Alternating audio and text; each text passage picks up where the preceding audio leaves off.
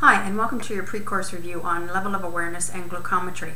My name is Tracy Gaunt, and I'm one of the regional educators for the Southwest Ontario Regional Base Hospital program. This review is intended to be a basic review of level awareness and when it's appropriate to take a blood glucometry.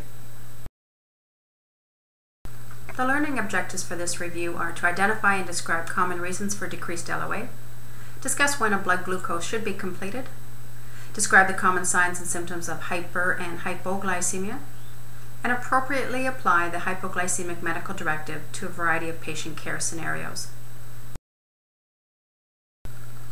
Level of awareness. The word altered refers to a GCS that is less than normal for the patient.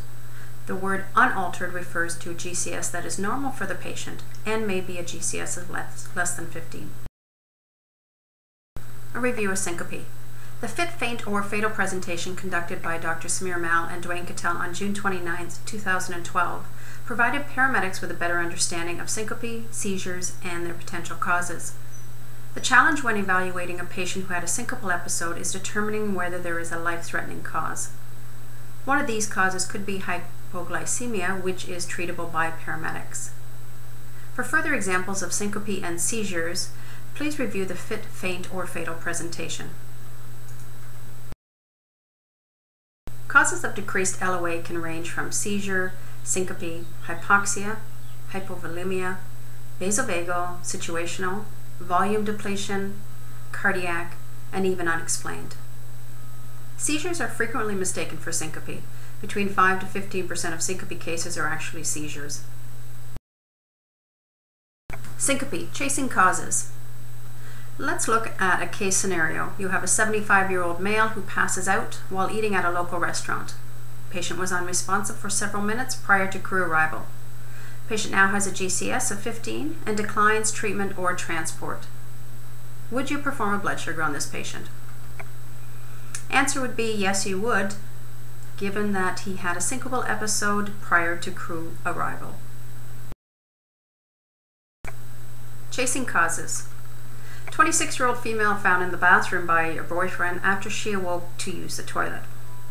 Patient is slightly confused but awake. There's no past medical history and she is a marathon runner. Would you perform a blood sugar on this patient? The answer is yes, given she has an altered LOA. Syncope. 50 year old male passes out while standing at a hockey arena for the past 30 minutes. He was watching the game. Patient is now awake but complaining of dizziness when assessed by the crew. Would you perform a blood sugar on this patient? The answer is yes, this patient warrants a blood glucose given the history of a syncopal episode prior to crew arrival. Ask Mac. A question was asked on October 2012 regarding blood glucose levels. Question was, I've noticed a number of paramedics do blood glucose testing based on the history of an event and not how the patient is presenting at the time of assessment.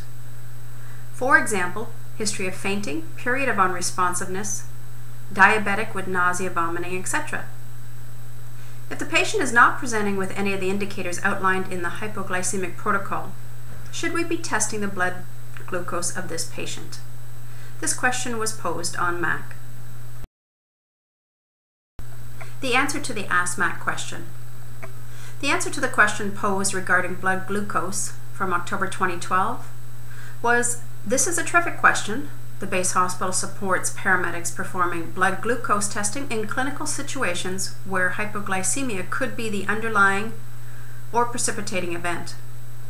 Classically, hypoglycemia is characterized by the clinical signs noted in the indication section of the hypoglycemic medical directive such as agitation, altered LOA, seizure, symptoms of stroke. Given the myriad of presentations of hypoglycemia, it is possible that a patient may be hypoglycemic and yet have other features, such as intense diaphoresis along with a sluggish behavior, etc.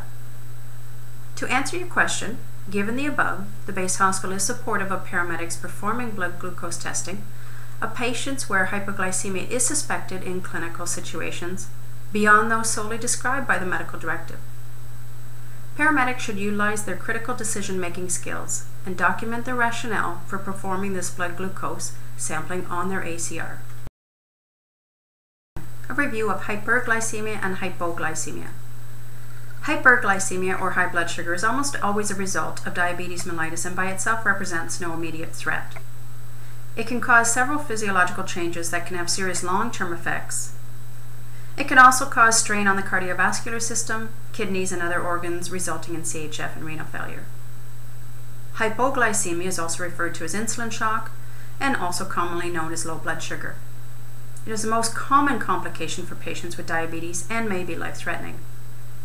Blood glucose levels usually remain fairly constant, but can fluctuate depending on diet, exercise, and other related factors. Hypoglycemia can occur as a result of taking too much insulin, not eating enough food, or a combination of both. The brain is the biggest glucose consumer. It uses approximately 25% of your total body glucose. Any shortage of glucose will greatly reduce your brain metabolism, resulting in neurological or psychiatric symptoms.